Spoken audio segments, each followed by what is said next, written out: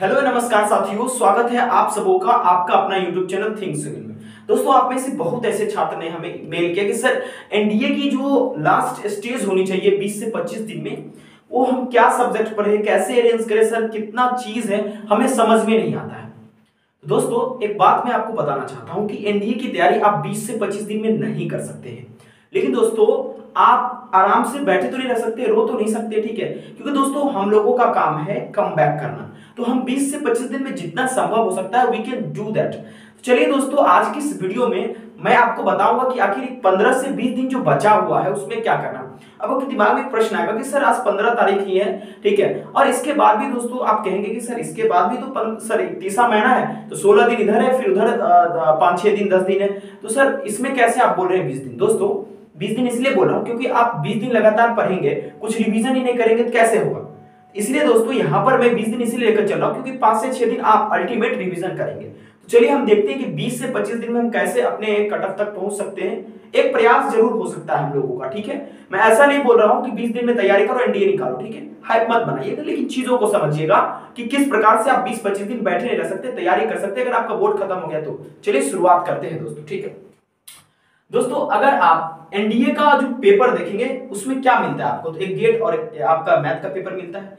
उससे पहले मैं आपको कुछ बताना चाहता हूँ। देखिए, अगर अभी भी आप 11 12 के फिजिक्स केमिस्ट्री और बायोलॉजी में पढ़े हुए हैं, उसको पढ़ रहे हैं, उससे पढ़ के चाहते हैं एनडीए निकालना तो भूल जाइए, आपसे नहीं निकलेगा, ठीक है? दूसरी बात की आप मल्टीपल वीडियोस नहीं चूज़ कीजिए किसी भी टीचर का। आज मेरा देख लिए, कल किसी और का देख लेंगे, परसों किसी और का देख लेंगे, ठीक है? किसी एक टीचर को फॉलो कीजिए। चाहे आप हमसे इंग्लिश पढ़ रहे थे हमें को फॉलो कीजिए। किसी और टीचर से पढ़े, उनको फॉलो कीजिए। तीसरी बात की आप प्रीवियस ईयर पेपर नहीं करेंगे, आपका रिज़ल्ट नहीं होगा, ठीक है? ओके तो चलिए हम आगे अब बात करते हैं कि एनडीए के लास्ट 20 दिन में हमारा प्लान क्या होगा। मैंने आपको पहले बोल दिया, दो पेपर होते हैं, एक मैथ्स के और एक आपके गेट के, ठीक है? दोस्तों, आप मेरे बारे में थोड़ा जान लीजिए। मैं लगातार अढ़ाई साल से लगभग मैं एनडीए को पढ़ा रहा हूँ, ठीक है? एनडीए के छात्रों को पढ़ा रहा हूँ। इसके अलावा मैं एक टीचर भी हूँ। लगभग मैं तेरह, चौदह साल, पंद्रह साल की उम्र से पढ़ा रहा हूँ। आज मेरा उम्र बाईस साल है। तो लगभग मैं ऐसा कह सकता हूँ कि पंद्रह सात आप ऐसा कह सकते हैं, मैं छह से सात साल का लगभग एक्सपीरियंस है, क्योंकि घर में सबका पढ़ाना लिखाना है। आप इतना जानो मेरे बारे में, ठीक है? ओके चलिए। अब हम एक चीज़ देखेंगे, जैसे सबसे पहले मैथ का प्लान देखेंगे कि किस प्रकार से मैथ में हम क्रैक करेंगे। दोस्तों, देखिए मैथ में 120 क्वेश्चन होता है और 120 में आप 120 20 दिन में नहीं कर सकते। ठीक है? इवन आप उसका सिक्सटी परसेंट से भी ज़्यादा क्वेश्चन नहीं कर सकते। हाँ चालीस से पचास क्वेश्चन कर सकते हैं। इसलिए चालीस से पचास या चालीस से साठ क्वेश्चन कर सकते हैं, क्योंकि उसमें दोस्तों मोस्टली प्रीवियस या रिपीटेड रहते हैं तो आपको आसानी होगा उन चीज़ों को करने में। ठीक है? ओके तो चलिए हम लोग ये देखते हैं कि आखिर हम किस तरह से एनडीए के मैथ पेपर को क्रैक कर सकते हैं, ठीक है? आप ऑलरेडी पढ़ चुके होंगे, तरीका मैं बदलाव बदलवाऊँगा आपसे, ठीक है? देखिए 40 से 60 क्वेश्चन हम लोग अल्टीमेट टारगेट रहेगा, क्योंकि इस इतना अगर ले आएँगे सही सही तो हम मैथ को क्रॉस कर देंगे उस कटअप को, ठीक है? ओके देखिए, सबसे पहले अगर आप मैथ की तैयारी कर रहे हैं तो यहाँ कुछ इंपोर्टेंट टॉपिक्स तो मैं शॉर्टलिस्ट किया हूँ इसका पीवाई क्यू कर लीजिए। पीवाई क्यू कहने का क्या मतलब होता है? प्रीवियस ईयर क्वेश्चंस को कर लीजिए, ठीक है? ओके अब देखिए, यहाँ पर कुछ जो टॉपिक मैं मेंशन कर रहा हूँ, उसके कुछ सब टॉपिक्स भी हैं, ठीक है? तो दोस्तों, सबसे पहले आप ट्रिगो और हाइट एंड डिस्टेंस को ज़्यादा पढ़िए, क्योंकि 2022 के फ़र्स्ट में इससे क्वेश्चन दागे जाएँगे, और दूसरी बात कि आसान क्वेश्चन आएँगे, ठीक है? ऐसा नहीं कि आसान मतलब कुछ भी आ जाए मतलब इक्कीस के सेकंड जैसा नहीं रहेगा मॉडरेट नहीं रहेगा, आसान रहेगा, ठीक है? ओके ट्रिगो और हाइट एंड डिस्टेंस को अच्छे से अगर आपने पढ़ा है, ठीक है? नहीं पढ़ा है किसी एक पर्टिकुलर टीचर को जाइए, देखिए, बहुत सारे यूट्यूब पर टीचर है जो मैथ्स पढ़ाते हैं, ठीक है? ओके चलिए, उसके बाद जो है, आपको क्या करना है? अलजेब्रा को पढ़ना है, ठीक है? ओके अलजेब्रा में आप complex number matrix determinant quadratic equation permutation and combination आप पढ़ सकते हैं, ठीक है? इससे भी आपके अच्छे क्वेश्चन आ जाएँगे, ठीक है? तो आप आराम से चीज़ों को कर रहेंगे, यहाँ से पहुँच तक आप, यहाँ तक आराम से आप 20 25 क्वेश्चन कर लेंगे, ठीक है? उससे कहीं ज़्यादा ही कर लेंगे, ठीक है? अगर आप मैट्रिक्स डिटरमिनेंट को अच्छे से रिवीजन करते हैं। लेकिन साथ साथ में पढ़ने के बाद प्रीवियस क्वेश्चन लगाना ज़रूरी है, क्योंकि उसी पैटर्न पे अगली बार भी पूछे जाएँगे, ठीक है? ओके उसके बाद दोस्तों बात कर लेते हैं 2D और थ्री के। ठीक है देखिए 2D और 3D बहुत वास्ट है ठीक है। जब हम ग्रेजुएशन की तैयारी कर रहे थे मुझे याद है कि 2D का हम एक बुक ही पढ़े थे 3D का एक बुक ही पढ़े थे। हालाँकि मैं इंग्लिश पढ़ाता हूँ लेकिन 2D 3D में आपको बेसिकली अगर अगर आपको आ, सबसे पहले तो पीवाईक्यू कर लेने उसके बाद आप इंपोर्टेंट जो फॉर्मूलेज है ठीक है पीवाईक्यू आधार पर उसको कीजिए। क्योंकि देखिए जहाँ तक मैंने इसे पढ़ा है अगर आपको 2D 3D का फॉर्मूला याद नहीं तो आप एक स्टेप सोल्यूशन नहीं कर सकते इसमें ठीक है? ओके तो फार्मूला का एक लिस्ट बना लीजिए, जैसे उदाहरण के तौर पे आपने इलिप्स पढ़ा पैराबोला पढ़ा हाइपरबोला पढ़ा, ठीक है? उसके बाद दोस्तों, इसके अलावा आपने टू डी में कोई सब चीज़ पढ़े, उसके बाद प्लेन वगैरह पढ़ लिए उसके बीच में शॉर्टेस्ट डिस्टेंस का फार्मूला पे क्वेश्चन डायरेक्टली आ जाते हैं, ठीक है? ओके इसके अलावा दोस्तों, आपको क्या करना है? कैलकुलस में आपको दो पार्ट होते हैं डिफरेंशियल और इंटीग्रल कैलकुलस आप कैलकुलस बिना मतलब एक पंद्रह बीस दिन में कैलकुलस नहीं खत्म कर सकते, इसको खत्म करने के लिए चार पाँच महीना चाहिए अच्छे से, उससे भी ज़्यादा, ठीक है? ओके अब इसमें दो किताब होते हैं डिफरेंशियल इंटीग्रल डिफरेंशियल कैलकुलस में आपका होगा एक टॉपिक जिसका नाम है डिफरेंशियल इक्वेशन ठीक है? आप क्या करेंगे, इसे अच्छे से पढ़ लेंगे। जैसे ऑर्डर डिग्री ठीक है? किस तरह के इक्वेशन के डिग्री डिफाइन नहीं होते, किस तरह के इक्वेशन का डिग्री ऑर्डर डिफाइन नहीं होते, इन चीज़ों को, ठीक है? ओके इसके अलावा लिमिट और मैक्सिमम मिनिमा आप कर लेंगे, ठीक है? इंटीग्रेशन में सिंपल सॉल्यूशन और उसके बाद दोस्तों इसमें भी कुछ चीज़ें हैं, जैसे कि आप डबल इंटीग्रेशन पढ़ते हैं, या अभी तो डबल इंटीग्रेशन आप में नहीं आ रहा, लेकिन इंट्रीगेशन आप जो पढ़ते हैं, उसमें खास करके जो सॉल्यूशन होते हैं शॉर्ट सॉल्यूशन ऑब्जेक्टिव के थ्रू आप कर सकते हैं। इसलिए तो मैं बार बार कहता हूँ कि पीवाईक्यू फोकस कीजिए, आपको खुद ही पता चल जाएगा कि अल्टीमेटली इसमें हमें क्या चीज़ पढ़ना है, ठीक है? ओके स्टेटिक्स और प्रोबेबिलिटी इससे भी 10 क्वेश्चन आते हैं। आप सबसे पहले पीवाई कीजिए। पीवाई की कीजिए आपको खुद पता चलेगा, हमें क्या पढ़ना है। एक दो दिन, एक दो दिन में एक, आप एक दिन में पूरे चार से पाँच घंटा लगेंगे पीवाई क्यू खत्म हो जाएँगे किसी भी टॉपिक के, ठीक है? यूट्यूब पे जाकर वीडियो देख सकते हो आप, ठीक है? पीवाई उसके बाद जितने भी शॉर्ट रिविजन इसके दिए हैं स्टेटिक्स और प्रोबेबिलिटी का, जो टीचर आपको पढ़ा रहे हैं, वहाँ से आप शॉर्ट रिविजन कर लीजिए। अब यहाँ पर एक प्रश्न जगता कि, सर, हमें कितना समय देना चाहिए अंतिम के 20 से 25 दिन में? ठीक है। देखिए, जो बच्चे ऑलरेडी तैयारी कर रहे हैं, उनको ये सारा चीज़ अडेप्ट नहीं करना, बल्कि इन टॉपिक को रिवीजन करना। ऐसे नहीं कि आप आपसे जाकर शुरू से वीडियो देख लेना, ठीक है रिवीजन करना, ठीक है। 10 से 15 घंटा देना जो नए बच्चे, ठीक है 10 से 15 घंटा में you have to get 4 to 5 hour to mathematics अगर आपने कुछ नहीं पढ़ा तो दो तीन घंटा लेक्चर देखिए, बाकी प्रैक्टिस कीजिए, ठीक है। आपको मेहनत करना पड़ेगा एनडीए में आप जा रहे हैं, ठीक है। अगर 20 15 20 दिन में जा रहे हैं, आप चांस ले सकते हैं। निकालने की कोशिश में चांस ले सकते हैं, ठीक है। ओके अगर आप जीके की बात करेंगे, जीके में भी दोस्तों हमारा जो है, डेढ़ सौ क्वेश्चन पूछे जाते हैं।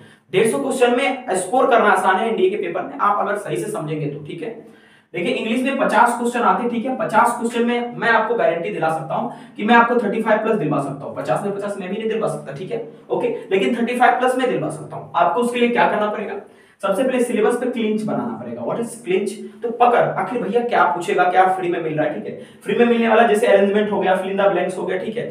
आपको इंग्लिश के लिए कुछ नहीं करना, आपको किस चीज़ पे फोकस करना? मेरे जो पिछले साल के मतलब माफ़ कीजिएगा, मैंने जो 42 लेक्चर एनडीए की, खासकर इंग्लिश का फ्री में लिया है you have to just watch that ठीक है? आपको जाकर उसे देखना है ओके देखने के बाद जो भी है उसके साथ पीवाईक्यू भी 22 42 लेक्चर ये है और 22 लेक्चर आपका है पीवाईक्यू का। ये पूरा अगर आप अच्छे से ग्रास्प कर लेते हैं समझ लेते हैं, यकीन मानिए, आप पेपर में अच्छा स्कोर करेंगे, ठीक है?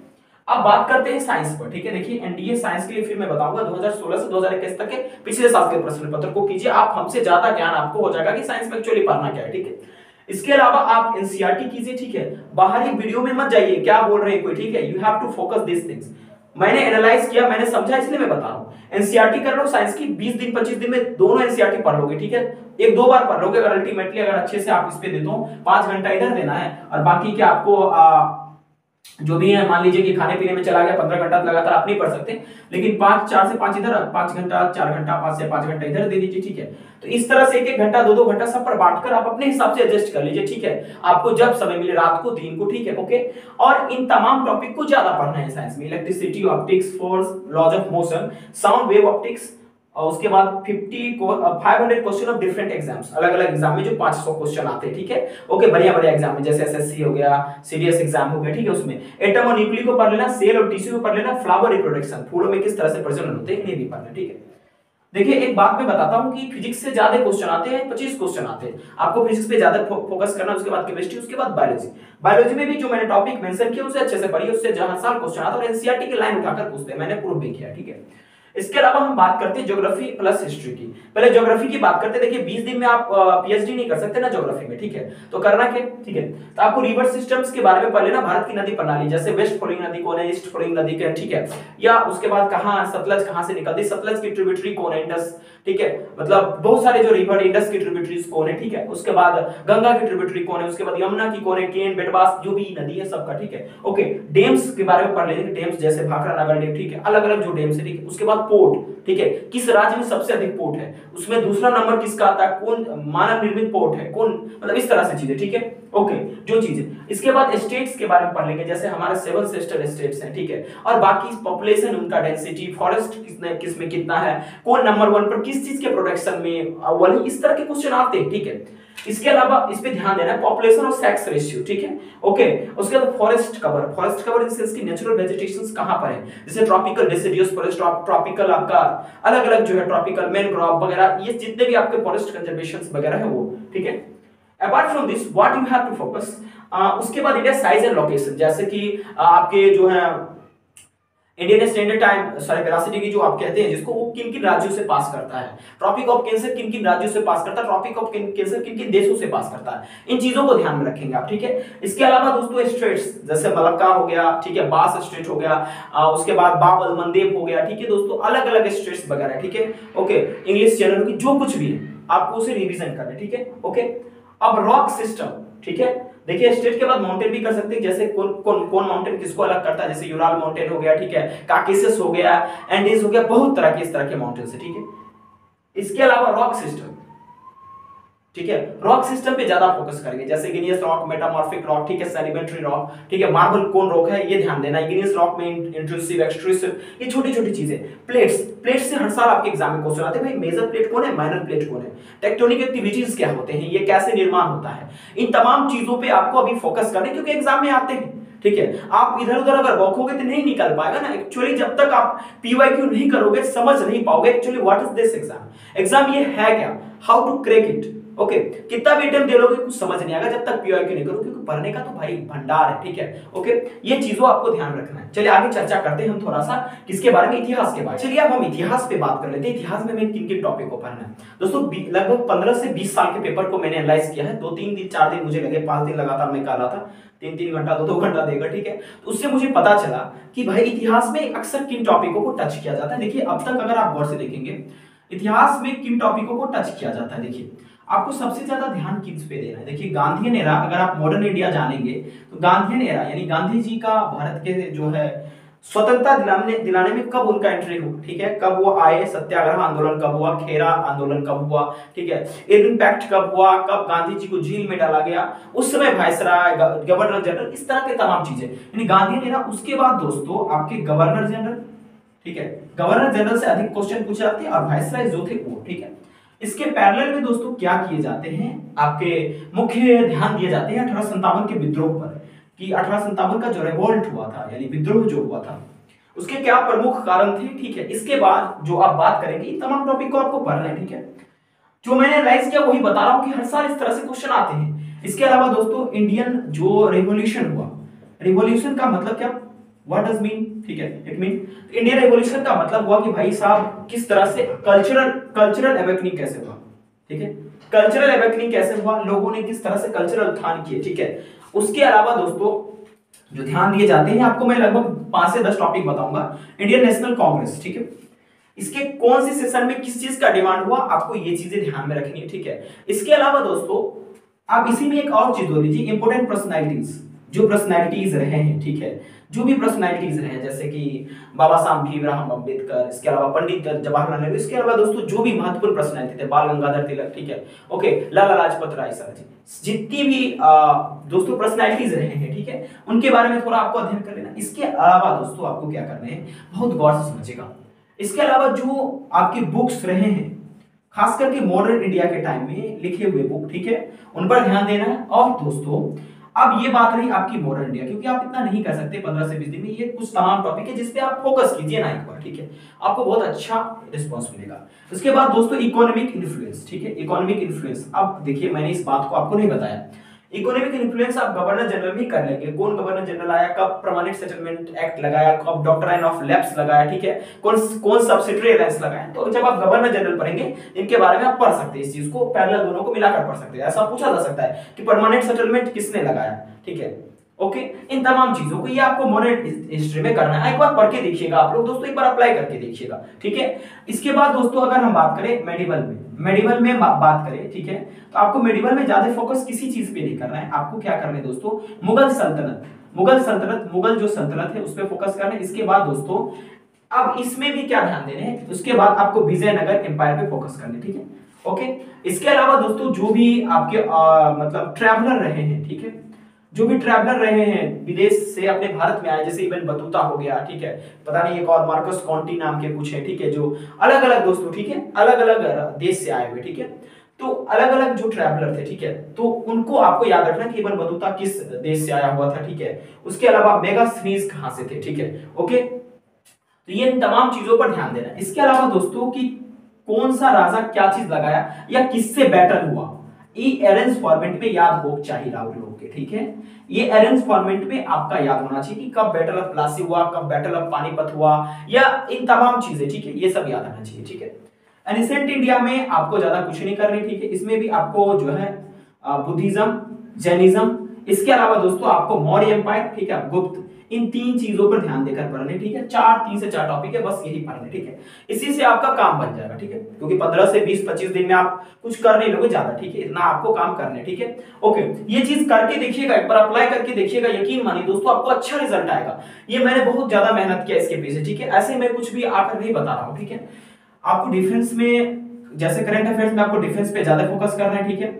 उसके बाद सरकार की जो योजना है, उस पर ज़्यादा आपको फोकस करना ठीक है? ओके योजना के बाद दोस्तों आपको क्या करना है? जो भी आपके इंपोर्टेंट पर्सनालिटीज रहे हैं, ठीक है?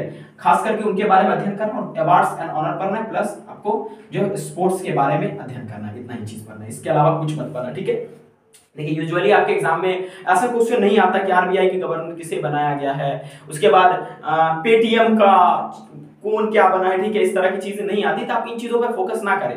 यूजुअली मैं देखता हूँ करंट अफेयर्स में ये कराए जाते हैं but this is not relevant ठीक है? एनडीए के प्रस्पेक्टिव से रिलेवेंट नहीं, इस तरह के प्रश्न नहीं आते जहाँ तक मुझे आइडिया ठीक है? ओके ये कुछ स्ट्रेटेजी है जिसके मदद से आप 20 से 25 दिन में अच्छा कर सकते हैं। ओके तो धन्यवाद आप सभी हमें इतना समय दिए, आपको कैसा लगा, आप कमेंट में ज़रूर कीजिएगा, ठीक है? और प्लीज़ आप लोग से गुजारिश है कि आप लोग निगेटिव मत होइए, ठीक है? तैयारी अच्छे से कीजिए। इस बार नहीं तो अगली बार चांस होगी, ठीक है? जिन बच्चों का लास्ट अटेम्प्ट होगा, वो भी घबराइए नहीं। कई सारे दरवाजे आपके लिए खुले एफ़ बाकी है सीडीएस बाकी है, ठीक है? अगर अगर नहीं हुआ तो कोई दिक्कत नहीं, आप टीचर बन जाइएगा, पढ़ा दीजिएगा तमाम बच्चों को जानकारी दीजिएगा, उनको लक्ष्य तक पहुँचा दीजिएगा, ठीक है? Thank you very much for watching this video मिलते हैं अगले एपिसोड में, ठीक है? Thank you